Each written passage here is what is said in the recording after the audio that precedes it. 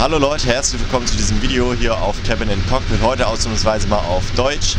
Ich bin gerade auf dem Weg Richtung Frankfurt und was genau ich dort heute machen werde, das erklärt euch jetzt der Felix, denn den treffe ich dort. Ja, wir sind jetzt hier bei der Deutschen Flugsicherung angekommen in Langen. Wir wurden eingeladen, ähm, einen Blick hinter die Kulissen zu werfen von verschiedenen Sachen. Zum Beispiel hier sitzen wir jetzt aktuell im äh, Center Simulator. Da werdet ihr gleich sicherlich noch ein paar Takes zu sehen. Ja, und äh, ich denke mal, Tower Simulator haben wir auch ein paar Aufnahmen und ich hoffe, euch gefällt soweit.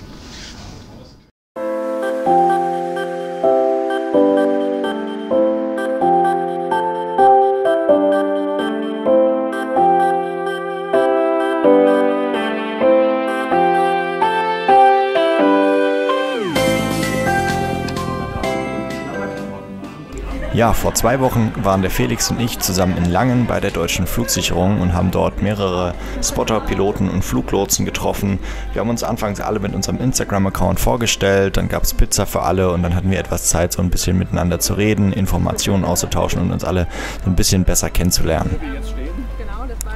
Danach wurde uns der Campus gezeigt und man muss schon sagen, es ist ein sehr, sehr großes Gelände. Dort befinden sich auch die Center-Lotsen, unter anderem werden dann auch dort die neuen Fluglotsen ausgebildet und dort werden auch neue Techniken entwickelt, um halt einfach den Fluglotsen Arbeit abzunehmen und die Luftfahrt sicherer zu machen, wie sie jetzt sowieso schon ist. Und das ist einfach ein riesiges Areal, wo das Ganze drauf stattfindet.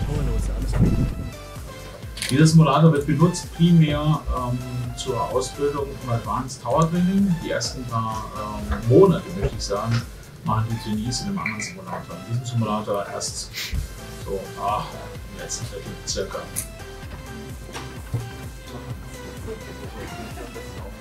Nachdem wir dann den ganzen Campus gesehen hatten, sind wir dann in den 360-Grad-Tower der Flugsicherung gegangen. Dort werden die neuen Fluglotsen ausgebildet und man kann dort alle möglichen Situationen simulieren und nachspielen, damit man einfach später im Berufsleben auf ich sag mal, nahezu alles gewappnet ist. Es ist echt unglaublich, wenn man da drin ist, hat man das Gefühl, man würde in einem echten Tower sein. Man guckt zwar auf Leinwände, aber man nimmt das gar nicht wahr. Dadurch, dass man sich so umgucken kann, wirkt das alles total real. Auch die Displays und so, das ist alles eins zu eins nachgebaut und sorgt einfach dafür, dass man ein un unbeschreibliches Gefühl eigentlich da drin hat, wie wenn man halt in einem richtigen Tower wäre.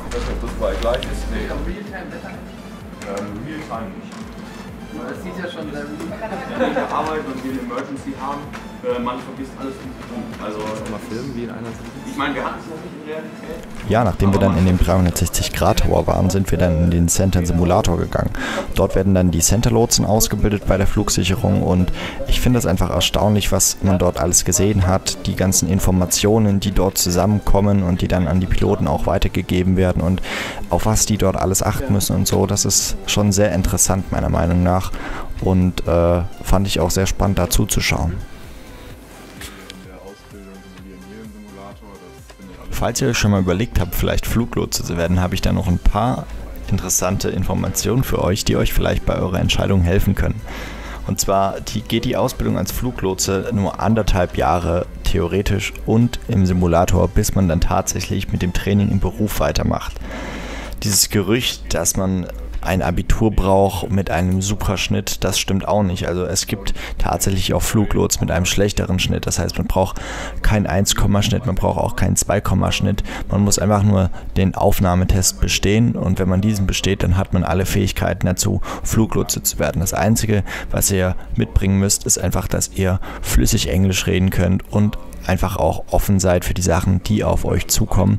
Und dann stehen euch sehr, sehr viele Türen damit einfach schon offen auf dem Weg zum Fluglotse.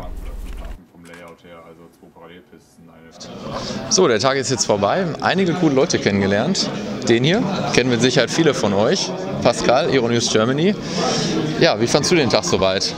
Sehr interessant. Also mal ein paar interessante Einblicke bekommen, wie die Leute hier ausgebildet werden. Und äh, gerade der Simulator ist natürlich eine hochinteressante Sache. Macht schon, macht schon Laune, sich das mal anzuschauen und ist, glaube ich, ein cooler Platz, wo man mal seine Ausbildung angehen kann, wenn man da Bock drauf hat. Und äh, es war sehr interessant, das mal von der anderen Seite zu sehen, mal die Leute zu sehen, die auf der anderen Seite des, des Mikrofons hängen. War das jetzt so auch dein Highlight, der Simulator unter anderem? Oder was hat dich heute besonders fasziniert? Simulator ist schon was sehr Spezielles, macht schon Spaß. Ja, ist schon, schon sehr cool. Aber auch ansonsten mhm. ist schon ein schöner Campus. Kann man sich, kann man sich glaube ich, ganz gut wohlfühlen. Ist eine große Fläche, große Gebäude und äh, aber der Simulator war schon das Beste. Das hat schon am meisten Spaß gemacht. Könntest du dir das auch mal vorstellen, sowas mal zu machen als Job oder eher so weniger? Hey, ich glaube, ich, ich fahre schon ganz gut damit, das, das, das Ding dann zu fliegen. Und, äh, aber es ist natürlich trotzdem ein sehr interessantes Gebiet, aber so einen Simulator hätte ich gerne mhm. zu Hause. Also ja, für, für Platzbedarf, ne? Zwischendurch ist, glaube ich, mal ganz lustig, ja. Ja, dann brauchst du nur ein großes Wohnzimmer, dann geht das schon, ne? Ja, mal schauen. vielleicht, vielleicht in der Zukunft, ne? Mal schauen, ja. ja dann auf jeden Fall noch gutes Gelingen heute und äh, vielleicht sieht man sich nochmal. Ja, ciao. Danke. Danke, ciao.